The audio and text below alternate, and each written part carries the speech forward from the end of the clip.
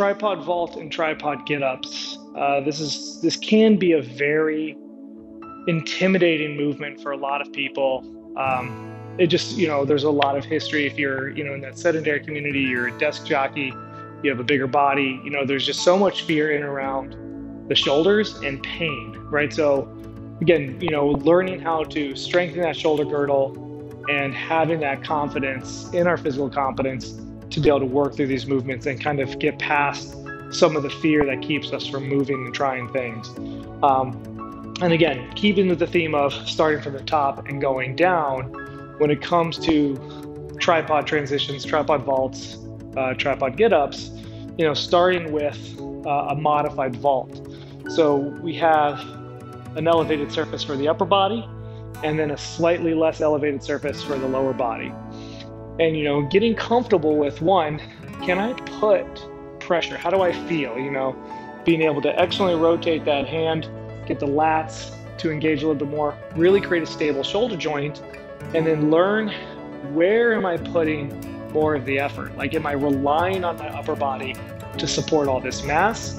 Or am I a little more evenly distributed and letting this leg kind of pick up a brunt of the effort because our legs are much stronger than our upper body, right? And as we're going through this, thinking, okay, first, you know, I don't need to worry about bringing that foot up and over an object. One, can I stabilize, right? So creating that stability, right?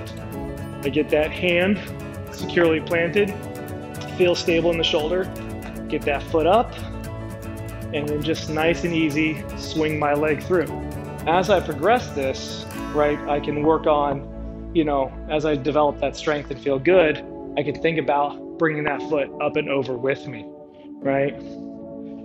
So hand and foot, feeling stable, using this leg to lift my hip higher so I can more easily step over. And as that starts to feel easier, you know, we can start to line up our hand and foot height so they're a little bit more even, right? You know, and this just kind of sinking in here will kind of help us realize where we kind of need to put some effort, right? And if hip mobility is an issue, you know, we can use this as kind of an active stretch, right? So, you know, as I kind of sink in, I can like, oh, I can take some of that weight off my shoulder. I can kind of use my weight and use gravity to help open up that hip right? And then just still easily swing that leg through, right? I don't have to worry about stepping over. Yeah, I can focus on, again, strength, stability.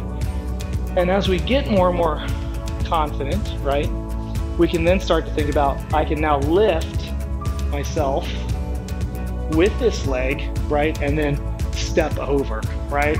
And if it helps, get in an object in between these boxes so that we can more easily replicate that um, tripod get up, or sorry, tripod vault, right? And again, you know, just taking our time, finding that bolster um, that allows us to appropriately train.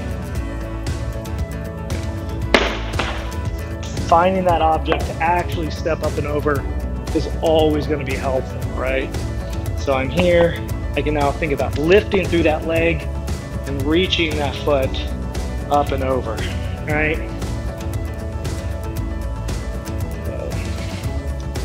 And from there, you know, we can add a little bit more complexity, right? I now have that full height. Do I have that strength? Do I have that stability to overcome that vault? So again, starting high and working low. Once we feel pretty good there, then we can take things to the ground, right? We're back on that tripod, um, you know, from the ground, focusing on that get up or that transition, right? Do I have the strength and stability to just one, go from a hip to a quadruped, right? And then pushing up into that prone get up, right? Using both hands, right? And as I get stronger, right? Going from that single hand push up